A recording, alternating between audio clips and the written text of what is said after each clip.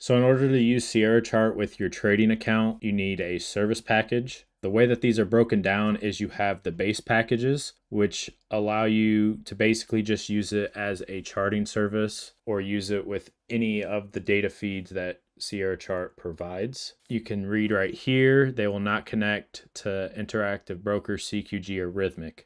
So for most people, you're going to want to go down to the integrated packages and choose between 10, 11, and 12. Service package 10 is basically everything, but you don't get TPO charts and you don't get footprint charts. You won't have the ability to do like a Bookmap chart, which is the market depth historical graph, and you can't draw volume profiles.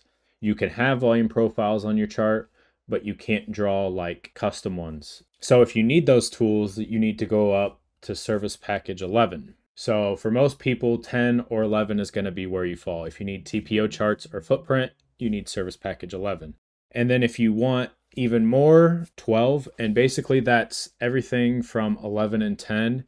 And then it provides market by order functionality. I purchased this, but it doesn't make a huge thing in my trading. It just splits up the levels on the ask and bid into orders. So here you can see at 12, 7, 35 there's an order for 15 contracts, an order to sell 20 contracts, and an order to sell 200 contracts. So that's MBO. So most people are going to fall in probably service package 11 because they want TPO and footprint charts.